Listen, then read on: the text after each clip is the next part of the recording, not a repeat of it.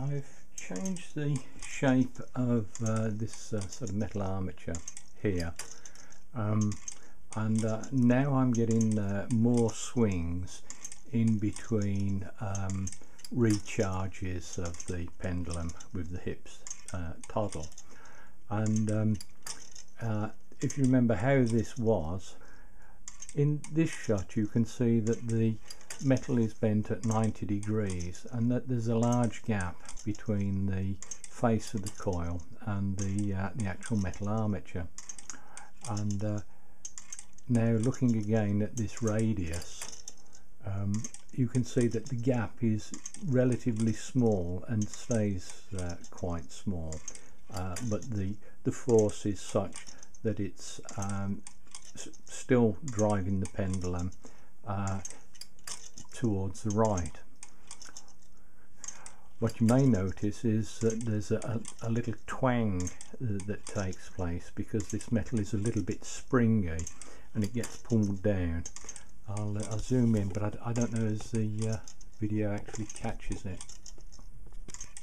Let's get the light in there.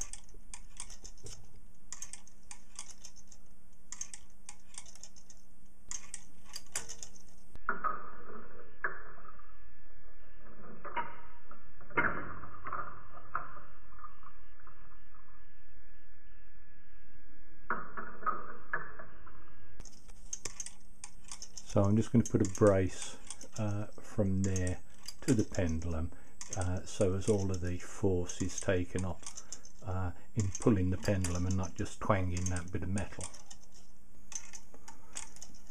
As you can see I've uh, dramatically changed the shape of uh, this little armature there and um, I'm going to carry on uh, playing um, you can see when this is getting a charge now it's it's going about three beats uh, in between charges.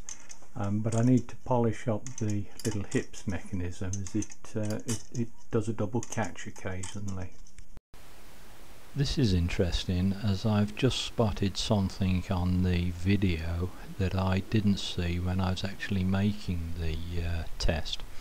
And you'll see the pendulum is swinging to the left and then uh, as it starts to charge uh, sorry as it starts to swing to the right so the light comes on showing the coils energized and the pendulum is uh, driven over uh, to the right. And then um, when it swings back to the left you'll see this area here actually hits the coil. And uh, previously I thought I'd bent that out of the way enough but you can see the wires to the coil move and there.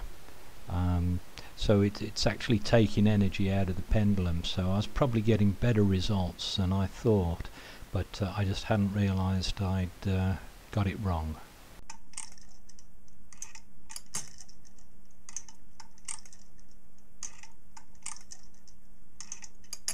Ah, there you saw it just caught on the end. Uh, I'll, I'll, go back to that on the and it's done it again.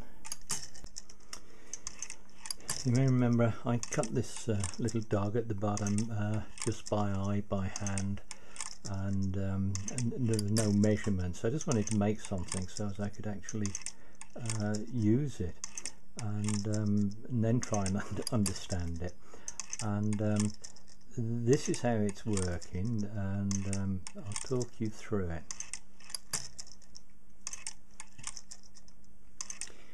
Okay, I'm just going to stop the pendulum and switch the power off.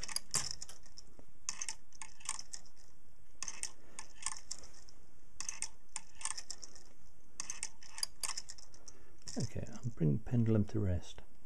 So the pendulum has just come to rest uh, that's over there that's the pendulum and then uh, this is my cornflake packet uh, device there that's holding uh, this toggle to the pendulum and as the pendulum uh, sorry as the uh, toggle hits the dog there so there's a point at which it catches and then the back of this um, needs to be there to keep the uh, the toggle up.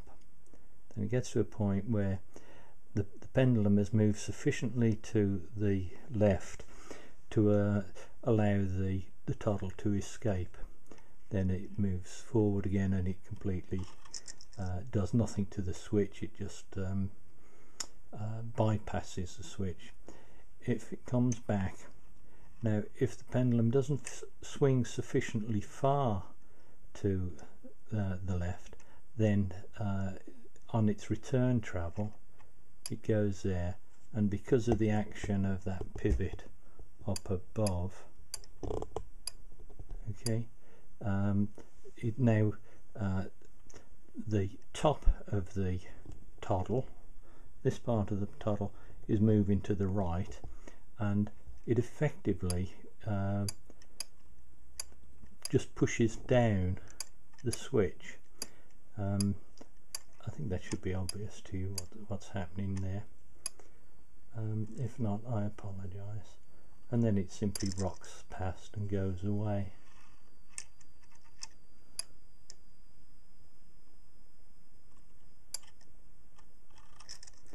So what it tells me is this part of the uh, dog could be removed. It, it, it, serves no practical purpose uh, from here, this part, so that, that could all be cut away. Um, on the back, so long as there is sufficient land to catch the edge of the toggle there, then anything after that could go. Uh, so that could be cut off there and it wouldn't hurt um, it would in this case because I've got my screw there but the uh, the profile um, ignoring the fixings the profile need only be from there to there. It's this bit that matters. Um, and uh, one could work that out on paper but I, I, just thought it was easier to make it and try it and have a bit of fun uh, playing with it.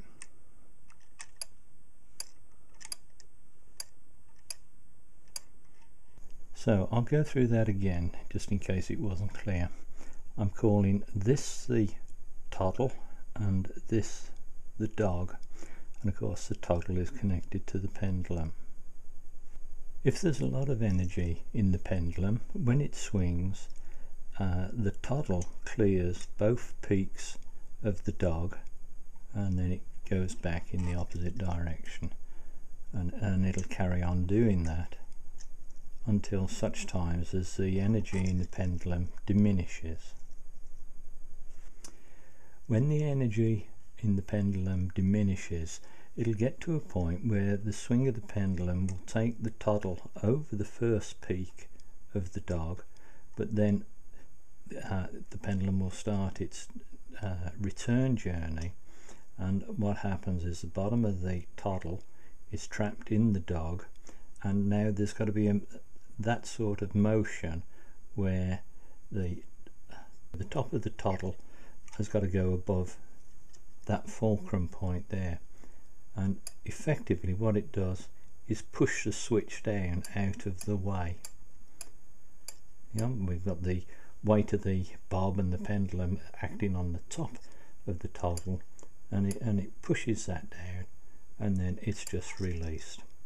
And it's that instant there when we get the um, the energy to the little solenoid coil. And that's the instant that driving force is put into the pendulum. So forgive me if I'm stating something that's obvious to you but uh, sometimes I get emails from uh, folks and they're asking me to give a, a more detailed explanation and uh, just explain things uh, to novices because I guess it's uh, only novices that are going to be watching this. Um, I don't think George Daniels will have a great interest in it. I hope you found that interesting. Thanks for watching. Bye bye.